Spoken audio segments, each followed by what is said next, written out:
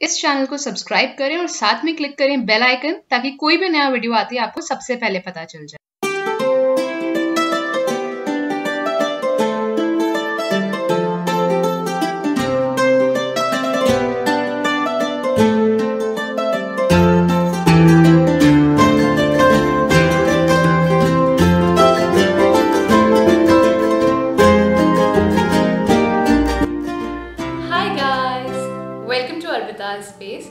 सबसे पहले wish you all a very happy Diwali मेरी तरफ़ से आप सभी को दिवाली की बहुत सारी शुभकामनाएँ।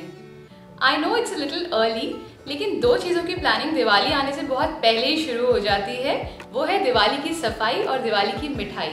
तो उसीलिए मेरा आज का वीडियो है त्योहारों के लिए कुछ स्पेशल आज मैं बनाने वाली हूँ डबल लेयर वाली ट्विंकल स्टार बर्फ़ी। ये मिठाई दिखने में है बहुत अट्रैक्टिव खाने में है बहुत टेस्टी और बनाने में है बहुत ही आसान और बहुत ही क्विक ये बच्चों को खासकर बहुत पसंद आती है. अबीर की ये फेवरेट है क्योंकि उसको इससे अपनी वो ट्विंकल ट्विंकल लिटिल स्टार वाली राइम याद आती है तो बहुत खुश हो जाता है इसको देख के और इसको बनाने में मेरी हेल्प भी करता है.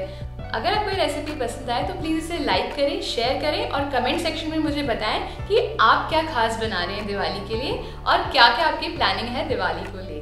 तो आइए देखते हैं कि ये टेस्टी मिठाई कैसे बनाई जाती है। टू लेयर्ड बर्फ़ी बनाने के लिए हमें चाहिए एप्पल सॉस तीन चौथाई कप ये मैंने घर में ही बनाया है। सिंपली कुछ एप्पल्स को पानी के साथ बॉईल करके और फिर उसकी प्यूरी बना के।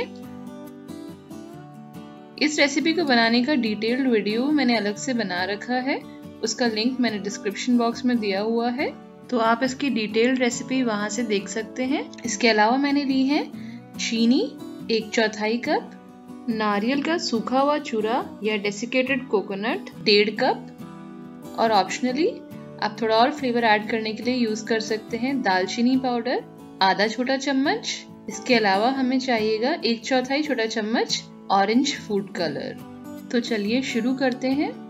सबसे पहले एक बड़े बर्तन में हम डालेंगे ये नारियल का चूरा और इसमें साथ में डालेंगे ये चीनी। और दालचीनी पाउडर इनको हल्का सा मिक्स करके अब हम इसमें धीरे धीरे ये एप्पल सॉस या एप्पल प्यूरी मिलाएँगे।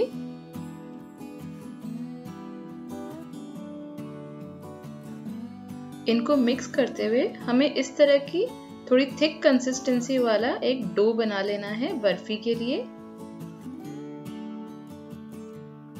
इसके बाद इस मिश्रण को दो भाग में बांटकर दो अलग बर्तनों में रख लेंगे हम।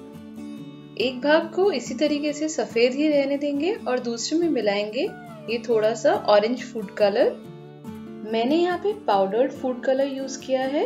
अगर आप लिक्विड फ़ूड कलर यूज़ कर रहे हो तो ये ध्यान रहे कि आप उसकी बहुत कम क्वांटिटी यूज़ करें, बहुत कॉन्सेंट्रेटेड कलर हो वो, क्योंकि अगर ज़्यादा लिक्विड हम इसमें मिलाएँगे तो ये जो हमारा सोल्यूशन है, बहुत गीला हो जाएगा, बहुत रनी हो जाएगा और हमें इसकी कंसिस्टेंसी थोड़ी थिक और थोड़ी ड्राई ही चाहिए।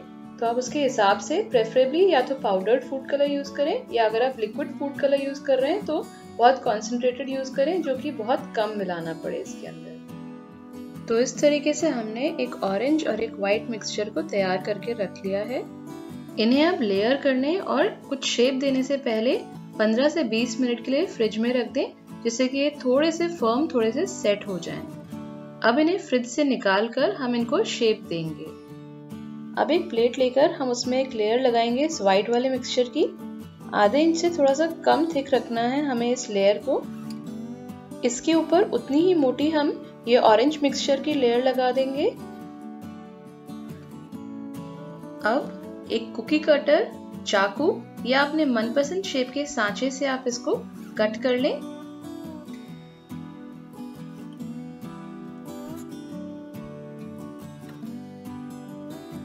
मैंने यहाँ पर एक स्टार शेप के सांचे से इसको कट करके इसको एक सुंदर सा स्टार शेप दिया है।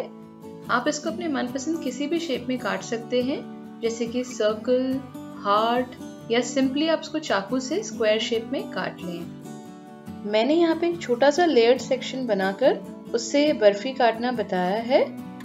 आप इसी तरीके से थोड़ी बड़ी लेयर्स बना के एक साथ उसमें से बहुत सारी बर्फियाँ काट सकते हैं। तो इस तरीके से हमारी सारी बर्फियाँ तैयार हो गई हैं। अब आप इनको ऑप्शनली गार्निश कर सकते हैं अपने मनपसंद ड्राई फ्रूट के साथ में। तो मैंने यहाँ पे पिस्ता लिए हैं, क्योंकि कलर थोड़ा कंट्रास्टिंग हो गया है। तो पिस्ते को मैंने काट लिया है, हरे पिस्ते को, और उसको इस तरीके से इसके बीच में लगा दिया है। तो अब हमारी बर्फियाँ बिल्कुल रेडी हैं। आप इनको थोड़ी सी देर वापस फ्रिज में रख दें ताकि ये थोड़ी फर्म हो जाए, थोड़ी और सेट हो जाए और उसके बाद में इनको आप सर्व कर सकते हैं।